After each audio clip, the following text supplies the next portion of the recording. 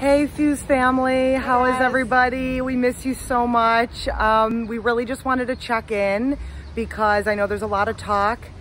there's a lot of talk about gyms reopening and not reopening and we just wanted to let you know exactly where we're think what we're thinking and how we're going about this and and really the bottom line is we have your health and safety as a number one priority and we would never do anything that we don't feel comfortable with personally. And so that's why even regardless of the governor's decision, we were not prepared to open this week.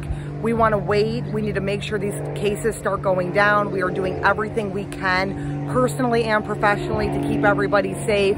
We're keep, I hope it's not too noisy. We're keeping six feet when we're outside. We are wearing masks if we ever go out and about.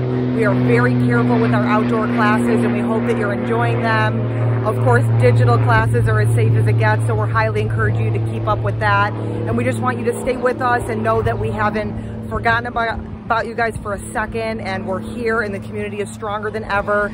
And the bottom line is health and safety first. And as soon as we have updates, we will be sharing them. And please reach out to us with any questions or concerns. Again, we love you guys, we miss you guys, and we are always here. And we will see you soon, one way or the other.